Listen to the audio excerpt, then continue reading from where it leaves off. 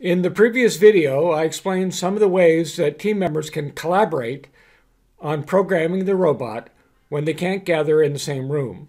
In this video, I'll give you a demonstration of the real-time collaboration. Let's assume a team member has built a robot and dropped it off at the coach's location, and another team member wants to program the robot. Let's say the team member who wants to do the programming is named Jane. The first thing that coach needs to do is install remote desktop. Coach goes to a page called remotedesktop.google.com slash support. Coach clicks on the download icon to install the remote desktop software. This installation step only needs to be done once at each computer where the programming will be hosted.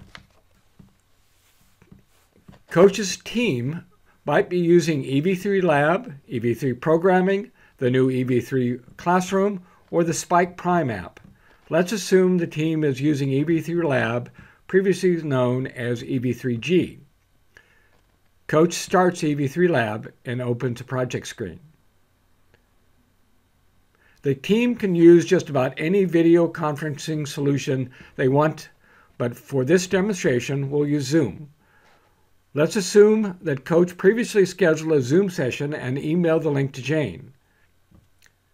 Coach starts the Zoom session. Jane uses her link to join the session. Now Coach opens Zoom's chat window, types the remote desktop link, adds a forward slash, the word session, and another slash. Then Coach goes back to the remote desktop page. Coach then clicks on Generate Code. A code is displayed on the screen. Coach copies the code from the remote desktop page goes back to Zoom and pastes it at the end of the web address and sends it. Jane then opens chat on her computer and clicks on the link. Then this causes a web browser window to open and the code that Coach just added is placed on that page. Jane then clicks on Connect to obtain remote control of Coach's computer. Coach clicks on Share to allow remote control by Jane. Notice that Remote Desktop allows Jane to see Coach's screen even though Coach hasn't asked Zoom to share it. The sharing comes along with the remote control provided by Remote Desktop. Jane now uses her mouse to move the cursor on Coach's screen down to the menu area and selects a block. Jane builds a series of blocks on Coach's computer.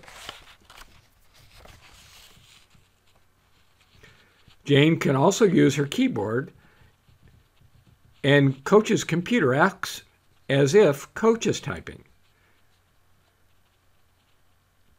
Meanwhile, Coach turns on the robot and connects it to his or her computer with a USB cable so it's ready for a download. Jane then clicks on the download button to cause the new program to be put into the robot's memory. Bluetooth could have been used for the download instead.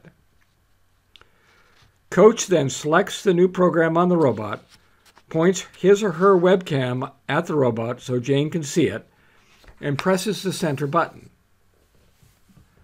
The robot moves but isn't doing exactly what Jane wants. So she continues to use her control of Coach's computer to make changes to the program and download it again.